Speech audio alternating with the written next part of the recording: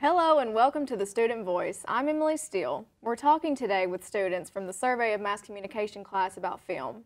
We live in a time where you can watch movies on giant screens in theaters and home theater theaters and even on your phone.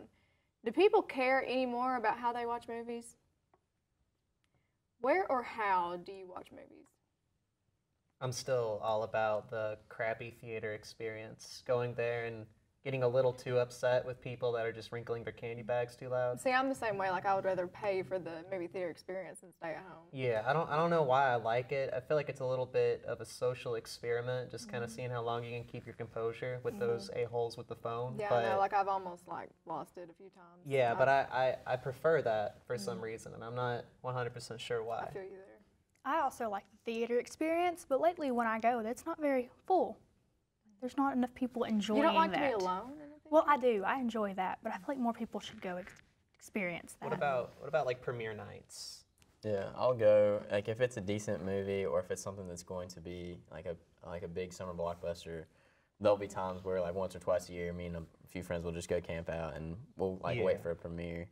Uh, that's probably the only time I've, I go to movies is like for big events like that. Yeah, I feel like I feel like that's really dependent on the people that you know are gonna be there. Yeah. Like if it's I don't know, like if it's like some fan base that you don't like Yeah. gonna be showing up, like I say you're just really like the Harry Potter movies, but the fans kinda like creepy out. Yeah, I feel like I would wait until like a good like three weeks and hopefully the ticket price has gone down for that. It's funny because like on premiere nights, people are so much more quiet than they are if there's Oh, just yeah. like two or three other people like in mm. the theater with you. 'Cause they because wanna- like 'cause they everyone is there to to. see the Yeah. movie, you know. So it's not really that annoying if there's a lot of people there to see a really or good movie. or when you have people that are like equally as passionate about it. Like I remember going to see the new Star Wars and just everybody like shouting so- like at all yeah. Mm-hmm. the same scenes. Yeah, like that that that's pretty great. That if it has to do with the film, but if you hear someone just like laughing, like I, I think when The Witch came out, I went and saw it. It was it was terrible in my opinion, but I still wanted to watch it because I was paying to be there. yeah. And the people in the theater were so terrible. Like they had to call in like the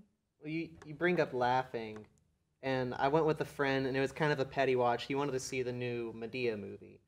So I went with him, and I can remember people laughing at jokes that just blatantly weren't funny.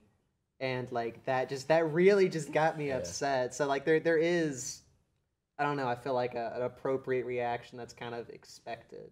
right. but was that a good movie? Because I've been considering going to see that. No. So it's not worth it. Okay. No. Not at all. Well, that's it for this edition of the Student Voice. Thanks for watching.